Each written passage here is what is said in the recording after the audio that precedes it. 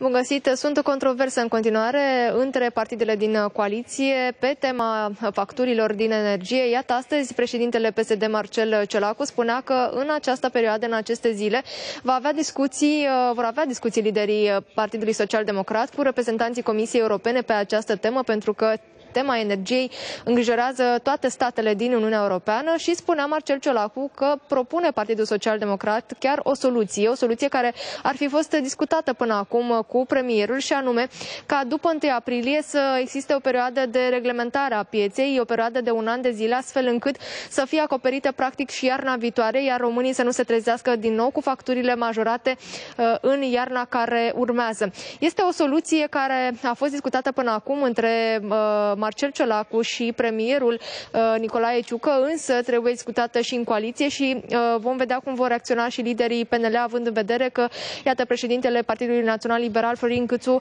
aduce multe critici la adresa Uh, ordonanței privind plafonarea uh, în domeniul energiei. De asemenea, chiar uh, domnia sa a menționat că nu este mulțumit de faptul că în ordonanță nu este cuprinsă și luna ianuarie. Practic se caută soluții mai departe pentru a vedea cum vor fi scăzute facturile din luna ianuarie, facturile la energie președintele PSD, Marcel Ciolacu, a precizat astăzi că facturile pentru luna ianuarie vor fi calculate, recalculate, practic, în baza primei ordonanțe care a vizat plafonarea în energie.